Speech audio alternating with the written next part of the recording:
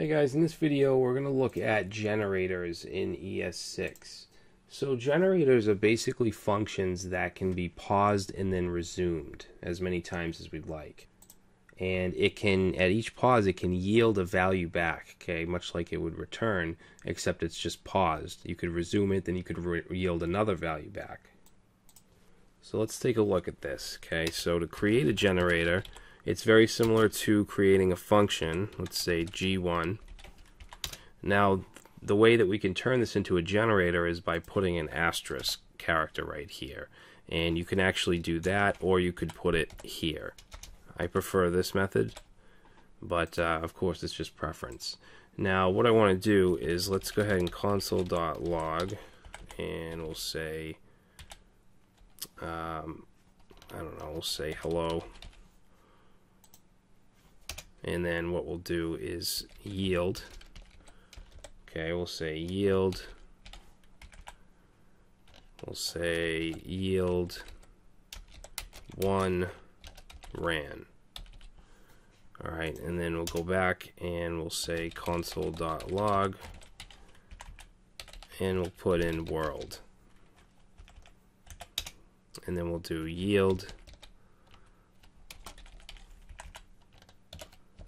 yield 2 ran.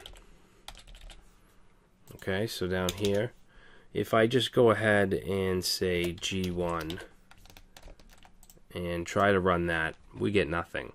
Alright, what we need to do is set this generator to a variable. So we'll say var uh, g equals g1. Okay, and then we what we want to do is use it. We can say console.log and we want to say uh, g dot next. Okay, let's see what that gives us. Actually, I'm sorry, we need parentheses.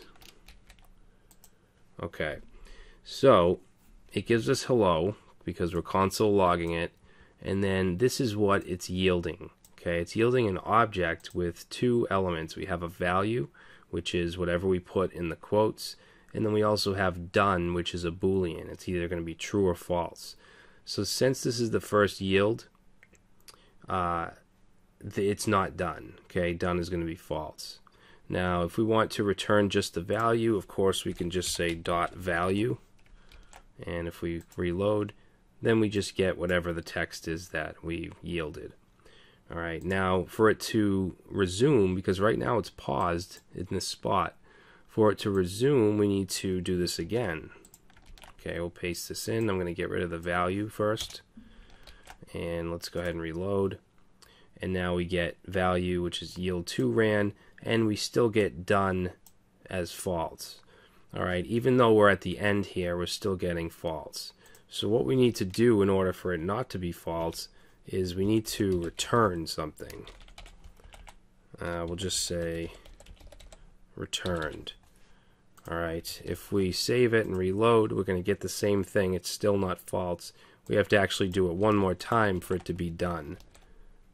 Reload, and now you can see it actually gives us the returned value, and it also sets done to true.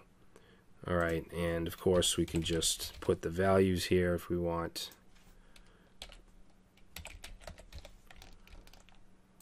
Okay, so there we go. We're we're returning multiple values from one function.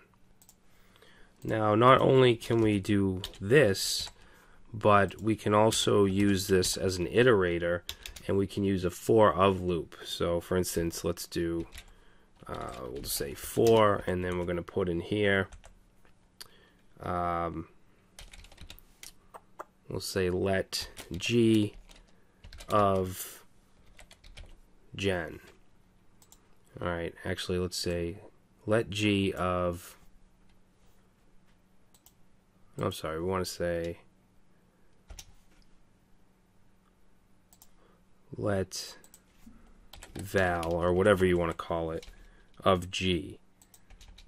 Okay, this variable should be the second value here or the second element.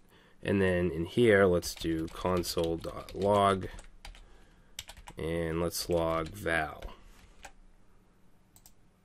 Okay, so you can see now it's giving us hello, yield 1 ran, world, yield 2 ran.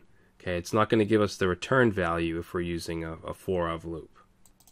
Now, there's other, obviously other things you can do with generators and iterators, but I'm not going to get into that now. This is kind of an introduction to uh, to ES6. So that's going to be it for now, and I'll see you next time.